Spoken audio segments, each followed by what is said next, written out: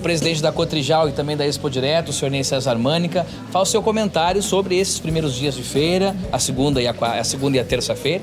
Tivemos um bom movimento político, presidente. Tivemos uma terça-feira também de muita, muita movimentação. O público veio até a Expo Direto. Uma quarta-feira também de muitos negócios, muita movimentação. O que o senhor tem a dizer para o público do AgroLink nessa entrevista especial para o nosso canal sobre a Expo Direto de 2023? Bom, primeiro eu quero parabenizar vocês da AgroLink Gilmar, você, Fernando, pela cobertura, pelo apoio que tem dado à nossa Expo Direto, isso é muito importante. Nesses três primeiros dias, como você colocou, os dois primeiros dias superou o público do ano passado, hoje realmente um público fantástico aí.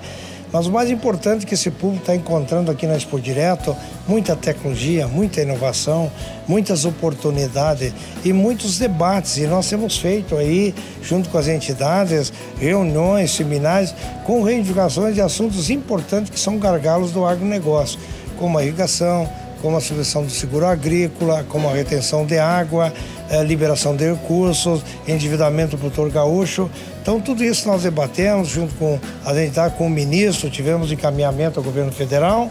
Estamos procurando uh, uh, amenizar esse distanciamento com esse governo, porque o agronegócio quer produzir, quer trabalhar. Então nós vamos só ter condições de fazer isso. Eu acho que aqui nós temos um exemplo de boa vontade, de fazer com que o nosso ministro da Agricultura seja fortalecido e o interlocutor junto ao governo para buscar essas soluções. Acredito que o tema estiagem certamente está na pauta. Presidente, gostaria de um comentário seu, especialmente para aquele produtor que está lá, lá na sua propriedade, também nessa expectativa que a Expo Direto, como já é conhecido como um palco dessas negociações, possa trazer um alento ao produtor e boas notícias. É, nós é, estamos juntos, porque somos produtor também na mesma situação é na grande área de ação da cooperativa, no Rio Grande do Sul, uma estiagem, quebra significativa, com muitas perdas no soja e no milho.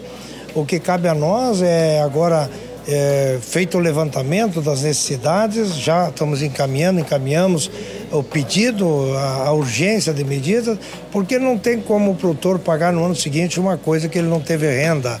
Então nós precisamos que haja um alongamento, uma redução da taxa de juros. Agora, mudou o governo, mudou políticas, mudou entendimentos.